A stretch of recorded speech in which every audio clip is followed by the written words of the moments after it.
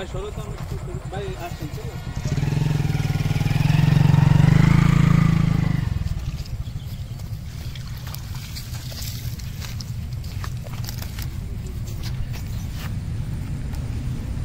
কিছু দিয়ে দাও।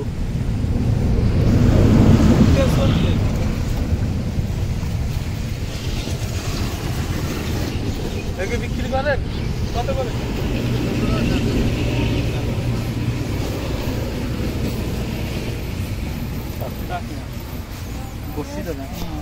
মাছ কোথেকে ধরলেন ভাই? খাত থেকে ধরলাম। ও এখান থেকেই এই যে বসে দিয়ে? ও আচ্ছা আচ্ছা। প্রতিদিন কি মাছ ধরেন? আমি দুই মাস ধরছি। হ্যাঁ প্রতিদিন কয় টাকার মাছ পান? এই তিন কেজি চার কেজি পাঁচ কেজি করে পাই। আচ্ছা তাহলে তো ভালোই। কত করে বিক্রি করেন পার কেজি? এই দুশো টাকা একশো আশি টাকা একশো ষাট টাকা। মানে একশো ষাট থেকে দুশো টাকার মধ্যে?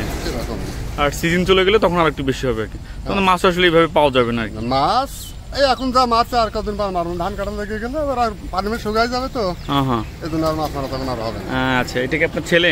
এটা আমার ছেলে। তুমি কোন ক্লাসে পড়ো? ক্লাস টুতে তুমি আব্বাকে হেল্প করো? মাছটা আসলে যেহেতু পরে বিক্রি করবেন এই জন্য জিয়ে রাখছেন আর কি। এর এই যে এইখানে এই যে এইখানেই বেসিক্যালি বসিগুলা পেতে এই মাছগুলো ধরছে আর কি। ছোটোবেলায় আসলে আমরা দেখেছি যে এই যে যে বসিগুলা হ্যাঁ? একটা মাছ খুলে দেখ খোলেন তো ভাই।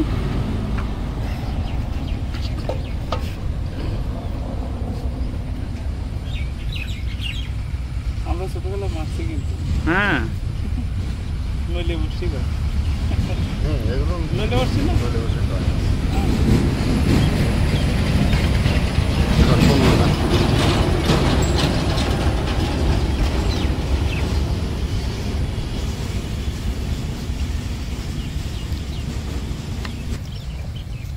হুম, তুই দাও ছবি। তুলবি।